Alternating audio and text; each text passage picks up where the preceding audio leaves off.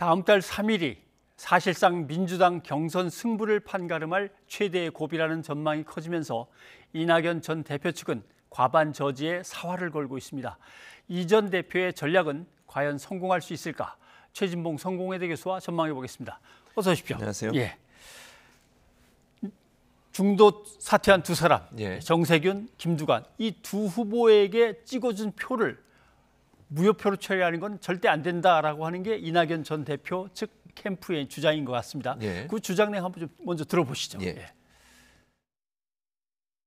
룰을 해서 그 조항을 잘못해서 한 겁니다. 예. 정세균 후보님과 김두관 후보님 사퇴했어요. 그런데 정세균 후보와 김두관 후보님에게 지금부터 찍는 표는 무효입니다. 이 얘기를 얘기하는 겁니다. 예. 네. 그러지 과거에 찍은 거 전부 무효다. 이렇게 해석을 하는 것은 과잉 해석인데요.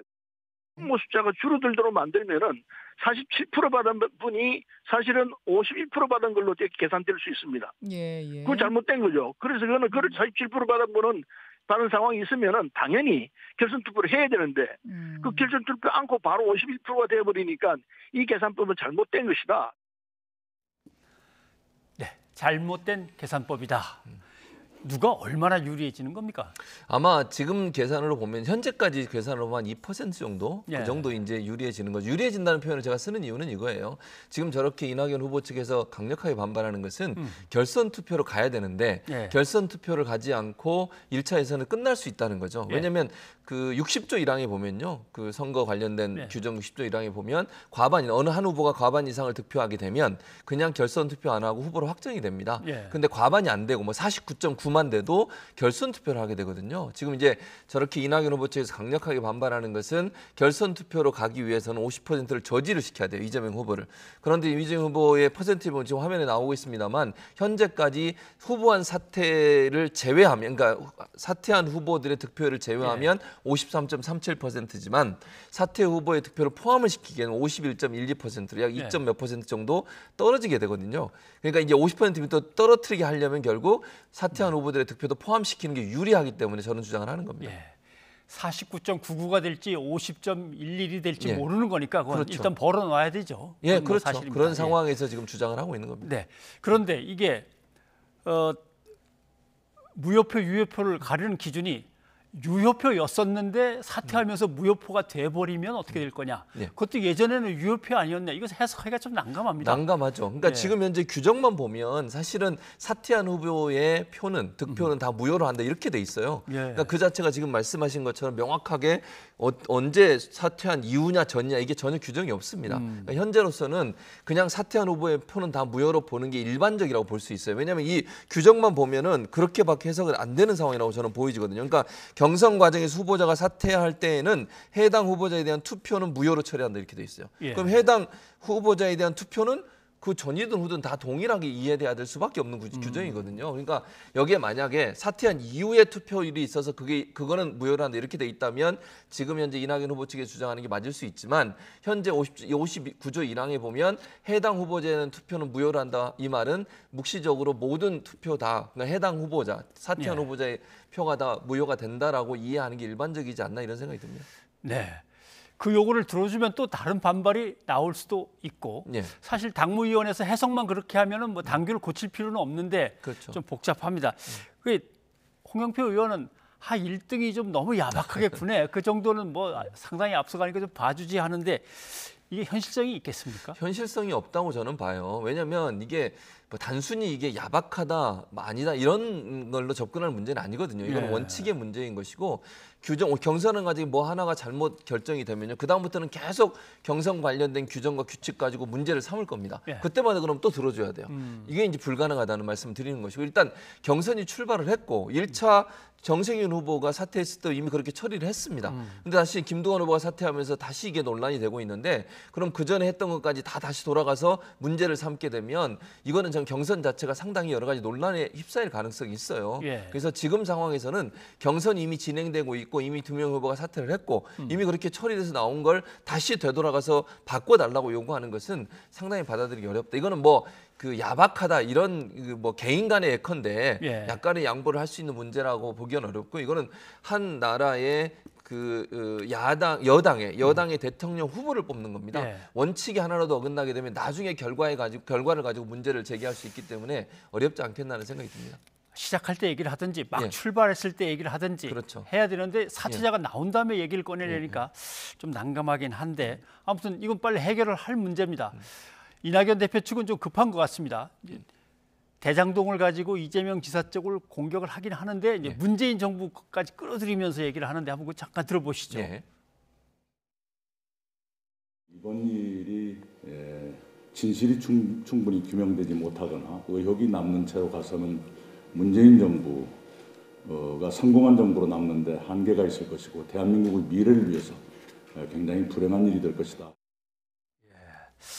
자, 대한민국의 미래를 위해서도 어, 상당히 불행한 일이 될 거다라면서 문재인 정부를 갖다가 압박하는 듯한 표현이어가지고 이것도 뭐 역시 선거 전략의 연장선상에 있다고 그렇죠. 봐야겠죠. 선거 전략의 연장선에 볼 수 있죠. 그러니까 지금 이낙연 후보 입장에 상당히 이제 벼랑 끝에 놓여 있는 상황이라고 보여져요. 왜냐하면 예. 지금 만약에 이렇게 해서 이번에 이번 주말에 이제 그 2차 어, 결과가 나오지 않습니까? 네. 그 결과에서까지도 만약 50% 미만으로 즉 이재명 후보가 50% 이상을 득표하게 되면 그 다음은 상당히 어려워질 수 있거든요. 상황이 그걸 좀 뒤집어 보려는 의도라고 저는 보여집니다. 그래서 문재인 정부가 비판받을 수도 있다 이런 얘기를 꺼냈는데 이거는 양날의 검이 될 수 있다고 저는 봐요. 예. 그러니까 첫 번째는 문재인 정부 지- 그 이낙연 후보 측에서 보면 문재인 정부가 실패한 정부가 될 수도 있다는 위험성을 빨리 해결해라 이렇게 압박하는 수단으로 사용될 수 있지만 반 대로 얘기하면 친문 진영이나 문재인 정부를 지지하는 분들 입장에서는 대통령까지 왜 끌어들이느냐라고 하는 부정적 이미지가 생길 수도 있거든요. 그래서 뭐 제가 볼 때는 지금 선택의 여지가 없기 때문에 이런 발언까지 하신 걸로 보여지는데 이게 추후에 어떤 영향을 미칠지 좀 지켜봐야 된다. 이게 단순히 좋은 영향을 미치기보다는 부정적 영향을 미칠 가능성도 있어서 이 이제 추후에 친문 진영이나 아니면 문재인 정부를 지지하는 분들이 어떤 선택을 할지 상당히 좀 그 두고 봐야 되는 상황이 아닌가 이런 생각이 듭니다. 일단 뭐 선의로 해석한다면 대장동 같은 의혹 음. 큰 의혹은 철저히 수사하는 게 맞다. 이게 대한민국을 예. 미래를 위해서도 좋다. 뭐 이렇게 이제 해석할 수도 있는데 자 그건 이제 유권자들에게 또 맡겨야 될 해석의 문제고 국민의힘 쪽으로 좀 넘어가 보겠습니다. 예. 어, 윤석열 전 검찰총장은 이게 말실수로 자꾸 구설수에 오르는데 이게 하루에 한 건 같이 그렇죠. 된단 말이죠. 이번에는 예비역 병장들과 만나 가지고 이제 얘기하는 게 있는데 예. 그것도 한번 좀 잠깐 들어보시죠. 예. 예. 그러니까 저희들이 학창 시절만 해도 군대를 갔다 오면은 여러 가지 좀그 공직이나 뭐 어, 기업에 들어가는데 혜택이 많았기 때문에 군을 자원하기 위해서 군대를 안 가면은 좋은 직장 얻기가 어려웠다 그런 시절이었습니다.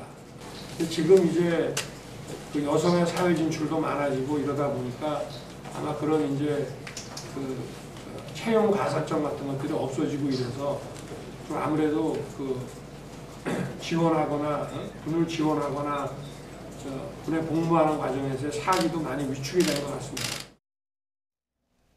예. 여성의 사회 진출이 많아지면서 군 가산점제라고 하는 남성이 갖고 있던 어떤 제도가 이제 결국 사라지게 됐고 군 사기자와 이제 이 세 가지를 쭉 이렇게 연결하면은 결국 여성의 사회 진출이 군 사기자와 이렇게 연결될 수도 있어가지고 좀 조심스러운 문제인데 이걸 어떻게 해석해야 될까요? 그러니까 지금 말을 들어보면 그런 맥락으로 들려요. 지금 설명해 주신 것처럼 예. 기본적으로 이게 여성의 사회 진출이 남성들의 사기 저하를 불러왔고 군에 관련한 음. 부분에 대한 어떤 사기가 저하됐다 이렇게 들리거든요. 그러면 마치 남성이 불이익을 당하고 있고 그게 여성 때문에 일어나는 것처럼 불, 더 틀릴 수 있는 충분한 뉘앙스를 갖고 있는 내용이라는 예. 생각이 듭니다. 그러니까 이게 사실은 그이 여성에게 가산점을 준 것이 음. 우리 사회에 여성이 사회적으로 불평등한 걸 겪고 있는 것을 해결하기 위해서 준 것이고 예, 남성한테 줄 때. 그렇죠. 예. 그리고 남자들의 뭐 군 군에 가고 싶은 마음이나 사기를 저하시키는 목적이라고 보지 않거든요. 예. 그리고 그것 때문에 여성들이 남성보다 더 많이 진출했다 이렇게 단정적으로 얘기할 수 있는 상황도 저는 아니라고 봅니다.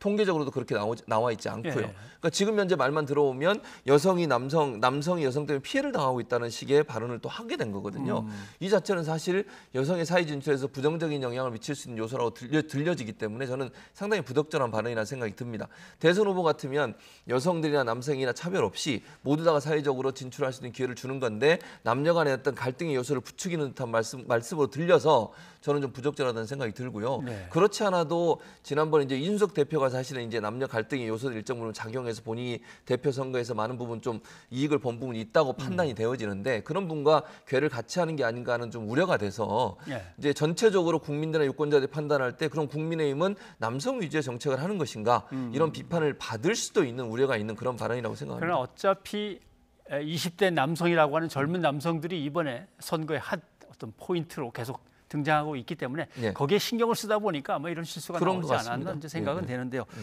근데 또 한 건이 있습니다. 내가 청약 통장을 모르겠냐 설마 다 안다. 그거 모르면 진짜 뭐 치매 환자나 마찬가지 아니냐. 이렇게 얘기했는데 그것도 또 어떤 질환을 갖다가 딱 꼬집어서 얘기하니까 이것도 구설수에 올랐습니다. 예, 이 말도 저는 대단히 부적절하고 생각. 물론 다행 뭐 나중에 사과는 했더라고요. 예. 어쨌든 뭐 이유와 어쨌든 이런 오해를 불러일으키는 말을 한 것에서 송구하게 생각한다. 음. 그런데 두 가지 저는 이제 치매 환자와 비교를 했거든요. 예. 치매 환자와 청약 통장을 모르는 거 무슨 연관이 있는지 모르겠어요. 음. 저는 그러니까 주, 주택 청약 통장을 모르면 거의 치매 환자와 같다. 이런 얘기를 했는데 이런 발언이 과연 치매 환자에 대해서 비하하는 듯한 그런 느낌으로 들릴 수 있고 그렇지 않아도 지금 잘 아시는 것처럼 정치인들이 어떤 비유를 할 때 질병과 관련된 비유를 해서 논란이 된 거 한두 번이 아니잖아요. 네. 그걸 다 알고 계실 텐데 저렇게 얘기하는 것도 이해가 안 되고 가십거리를 제공하는 것도 정치 서비스다 이런 얘기를 했습니다. 가십이라고 하는 부분을 어떻게 해석해야 될지 모르겠는데 본인이 소위 실언이라고 하는 것들을 하는 것이 마치 정당화시키는 듯한 발언으로 들릴 수 있습니다. 그것도 저는 부적절하다고 생각해요. 가십거리가 문제가 아니라 본인 예, 대통령 후보로서 자질을 제대로 갖추고 있는지에 대해서 상당히 의구심을 품을 수 있는 발언들이 계속됐는데 예. 그걸 정치적 가십거리를 이렇게 바꾸시려고 하는 것은 그렇게 뭐 들립니다. 저는 그렇게 하는 것은 상당히 부정적인 영향을 미칠 수 있다 있다. 그런 생각이 듭니다. 네, 알겠습니다. 앞부분은 상당히 설명이 괜찮았습니다. 예. 검찰에 있다 보면 청약 비리, 분양 비리를 다 수사하는데 내가 청약 통장을 모를 리가 있냐 이렇게 예. 되는 건데 뒤에가 제가 깜빡깜빡했습니다 하면 될걸 가지고 이제 저- 환자 얘기를 그러니까요. 꺼내는 바람에 그렇게 예. 됐습니다. 그런데 계속 이제 이런 실수가 나와서 그런지 최근에 나온 에, 지지율 조사를 보면은 좀 차이가 1위하고 좀 벌어지고 있습니다. 예, 그렇습니다. 이게 지금 여러 군데 여- 여론조사가 있는데 계속 그 중에 나오니까 뭐 예. 예, 맞습니다. 그 중에 지금의 MBS라고 하는 곳에서 예. 여러 군데 여론조사 기관이 함께 여론조사 결과한 내용입니다. 이게 그걸 보면 이재명 기자 29% 그리고 윤석열 후보가 17%를 차지하고 있고 홍준표가 음. 14%인데 차이가 전혀 줄질 않고 있어요. 그 전보다. 그 말은 대장동 의혹이 터졌음에도 불구하고 이재명 지사와 연관된 부분이 드러나지 않았기 때문에 예. 국민들은 이재명 지사에 대한 의심을 하지 않는 걸로 보여지고요. 윤석열 후보 같은 경우에는 오늘도 이제 뭐 실언에 대해서 얘기를 했습니다만 지속적으로 이제 토론회 하는 기간 동안 실언들이 계속 나오면서 예. 그것이 대통령 후보로서 자질에 대한 의심을 품게 만들었고 그것이 결국은 지지율을 좀 떨어뜨린 요소로 작용하지 않았나 그렇게 분석이 가능하다고 볼 수 있겠습니다. 네. 나름대로 차이는 벌어졌는데 또 하나 예전에는 이걸 충성도라고 했습니다만 예. 지지 강도라고 요새는 표현하는데 절대 내가 지지하는 이 사람을 안 바꾸고 계속 찍겠다. 예. 그건 또 윤석열 후보로서는 제일 높은 편에 속하긴 맞습니다. 예. 합니다만은 일단 1위하고 좀 벌어지는 게 문제가 되는 거죠. 예. 자, 계속 그 이거 뭐 지켜보면서 따라가야 될 것 같고요. 최 교수님 오늘 여기까지 하겠습니다. 고맙습니다. 감사합니다.